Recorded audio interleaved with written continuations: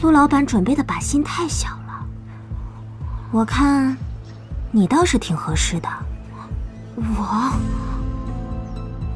一场比赛嘛，一场比赛而已，城主，你何必这样坏了规矩，失了风度？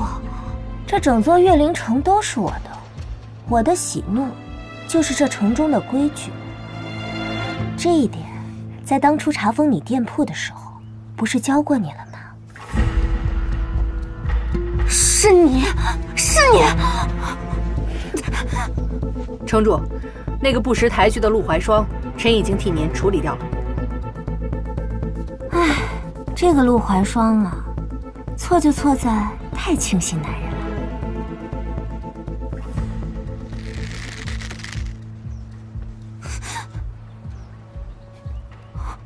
小哥哥，刚才我放纸鸢，手都酸了，不如你帮我设这一箭，怎么样？不如我与城主一起。好啊。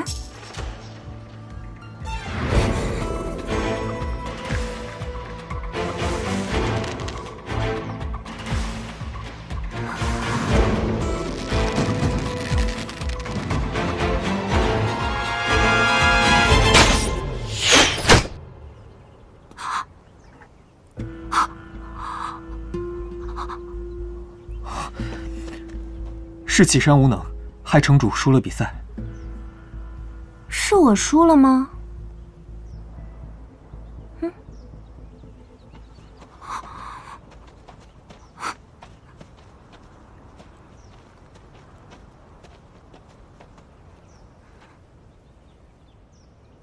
谢城主赐教，是我输了。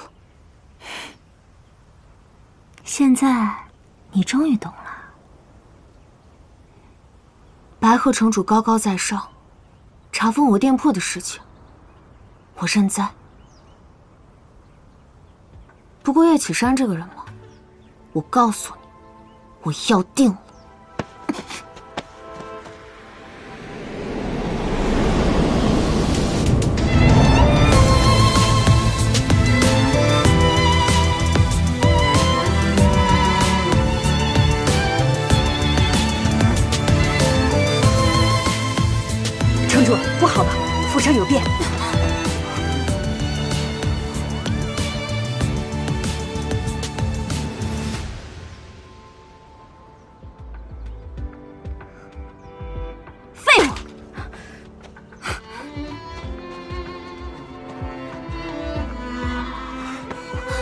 眼里根本就没有你。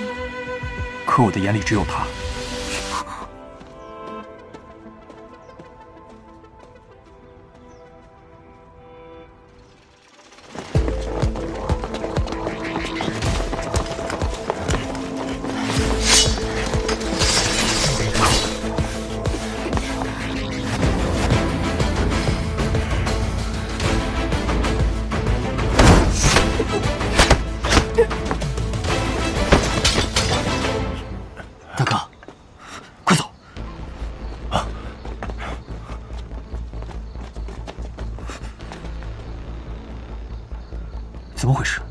是让你们去查探情况，怎么引来如此多官兵？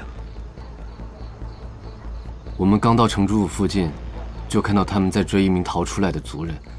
我们想去救他，但他也身受重伤。为了掩护我们，他……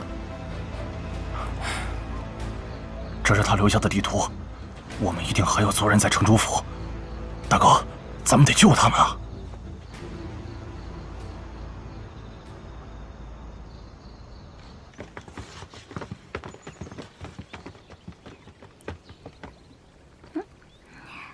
你来的正好，你看看我新得的宝贝，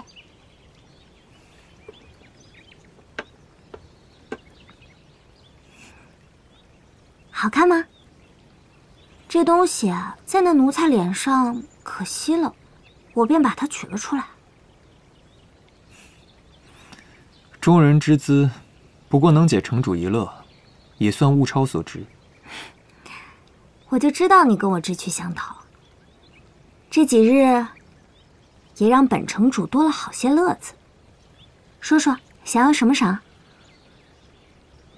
之前城主说要带我入府的事，可还作数？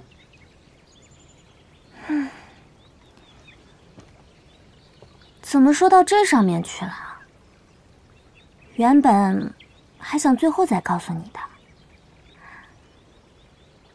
我对你另有安排。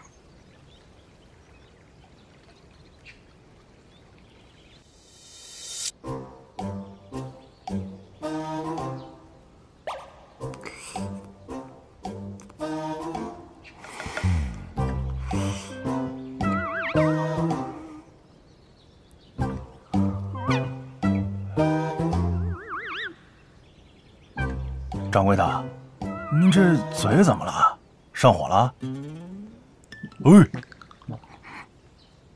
我这不是摊上你们那么个无情无义的大哥，想不上活动呢。要我说呀，这伤情事小，饿死事大。您说您这都闭门谢客几日了，咱这月馆还开是不开了？要您管？得不管。您是掌柜的，您说了算。张二，我问你个事儿啊，你说咱们这月馆，我要是不开了，你以后打算去干嘛呀？没什么可打算的，肯定是我大哥去哪儿我去哪儿啊。我跟二爷那都是发过毒誓的，这辈子跟定我大哥了。你们为什么会认他当大哥呀？其实啊，我跟二爷都是孤儿。要是没有大哥的家人收留，我们俩早就饿死了。那，他家里人呢？都死了。其实我大哥呀，也是个可怜之人，这么多年来一直护着我跟二爷。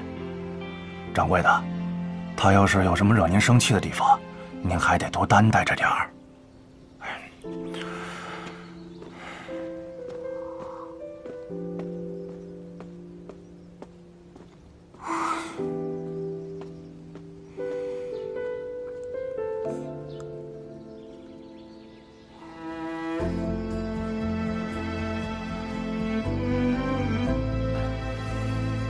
你可记得上次提过的瓦克人？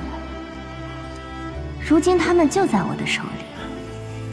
老天既让他们身怀异香，本城主便要他们同你一样，成为我月灵城的摇钱树。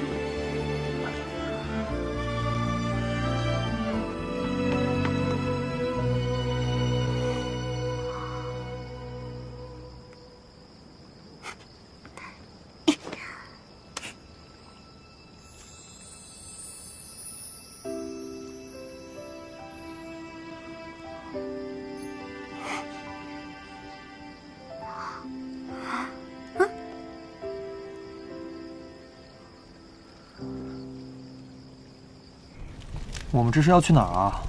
哎呀，你就走吧，很快就到了。抬脚。到底要去哪儿？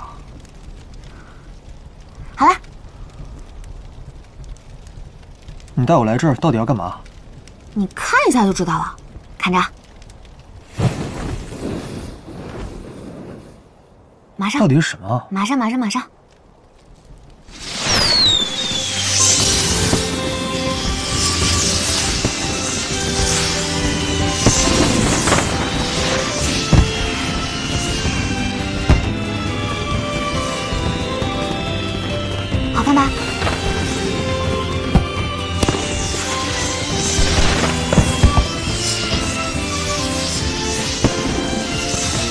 听张乐说你喜欢吃甜的，这个，这是我做的糖，你尝一尝，好吃吗？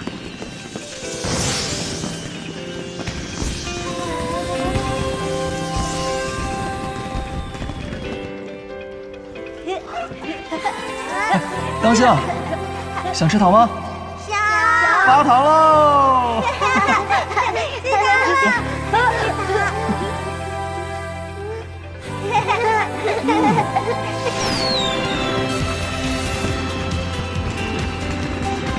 尝一下，甜吗？